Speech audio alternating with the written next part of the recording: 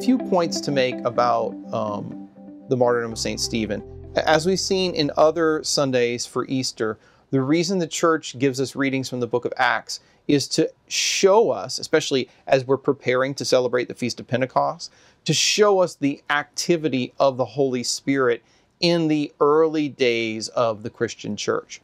And one of the main things that the Holy Spirit does in the church in those first decades after Jesus' crucifixion and resurrection is send out evangelists, not just to proclaim the good news, but also to be witnesses to Christ.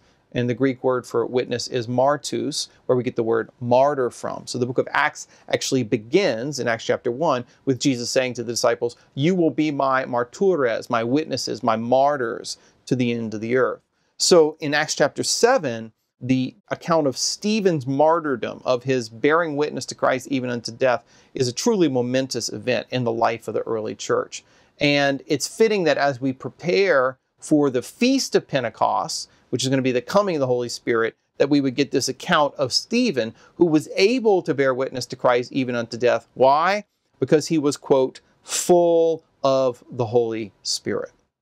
So that's the first point I want to make.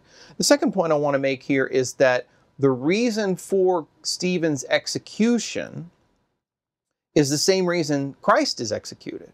It's the charge of blasphemy. Now, in this case, we don't actually hear them explicitly accuse Stephen of blasphemy. But nevertheless, that is the reason that they put him to death. And you can infer it from the Jewish context because for two reasons. First, when Stephen says he sees Jesus standing at the right hand of God, to be at the right hand of a king implies equality and equal authority with that king.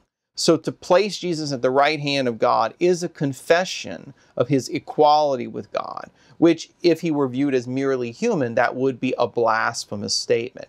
And that's why um, those who are standing around Stephen, when they hear him, it says they stop their ears, right? So they're trying to block out the blasphemous statement that he's making about Jesus by saying he's in heaven and at the right hand of God. And the second clue to the, the fact that the reason they execute him is blasphemy is because of the manner of execution, which is that they stone him to death. So if you go back to Leviticus chapter 24, the uh, it says that anyone who blasphemes the Lord will be stoned to death. Right. So stoning is the particular method of execution that the Scripture proclaims, or not proclaims, but uh, prescribes for the execution of a blasphemer. Now, um, you might think, well, wait, why wasn't Jesus stoned if that's the case? Well, uh, in Jesus' day, what happened was he was a visible enough figure where the Sanhedrin had to figure out how to have him executed in keeping with Roman law. Because according to Roman law, the Jewish leaders did not actually have the official capacity to pronounce capital punishment on anybody. But in this case, the execution of Stephen is not an official act of the Sanhedrin. It's more of what we would call mob violence, right? So in the heat of the moment, in the moment of his blasphemy, the mob gathers, they're going to stone him to death, and then they're going to disperse. And as anyone who's familiar with occupational authority of figures like the Romans, sometimes the government looks the other way when mob violence takes place or breaks out, and especially in a spontaneous situation. So that appears to be what's happened here with Stephen, right? So, like Christ, he is uh, put to death as a blasphemer. And the other final thing about Stephen's martyrdom that's fascinating is that his martyrdom itself is actually configured to Christ in two ways.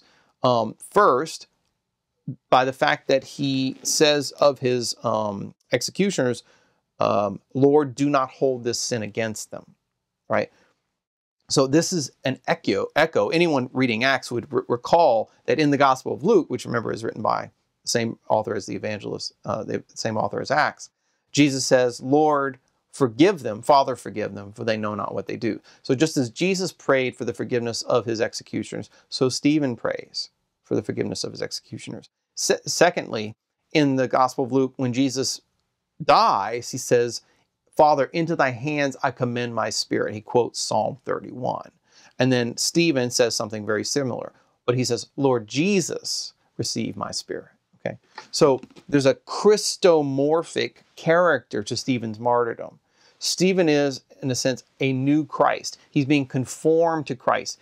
as a Christianos, right, as a little Christ. That's the Acts is the first book where they're called Christians.